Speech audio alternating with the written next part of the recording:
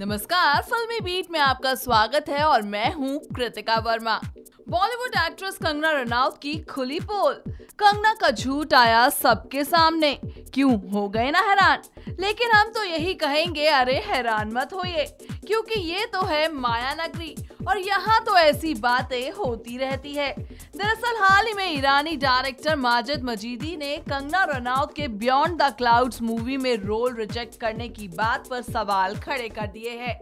जी हाँ एक इंटरव्यू में डायरेक्टर ने कहा, मैंने बियॉन्ड द क्लाउड्स में फीमेल लीड के लिए दीपिका पादुकोण और कंगना रनौत को अप्रोच तो ज़रूर किया था, लेकिन डेट्स की वजह से दोनों हीरोइन से बात नहीं बन पाई।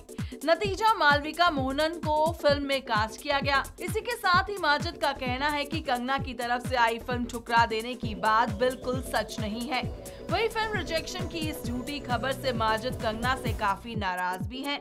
बता दें, इस झूठी खबर के आने के बाद जब कंगना से कांटेक्ट किया गया तो पता चला कि कंगना ने नहीं, बल्कि इस हसीना के ऑफ़िस ने ये झूठी खबर पब्लिश कराई थी। सोर्सेस की माने तो बियॉन्ड द क्लाउड्स की शूटिंग शुरू होने से पहले कंगना और मजीदी के बीच कई मुलाकातें हुई। फ़िल्म को लेकर इन दोनों ने काफ़ी चर्चाएँ भी की थी। लेकिन बिज़ी शेड्यूल और डेट्स की प्रॉब्लम की वजह से ये दोनों इस वेंचर में साथ काम नहीं कर सके।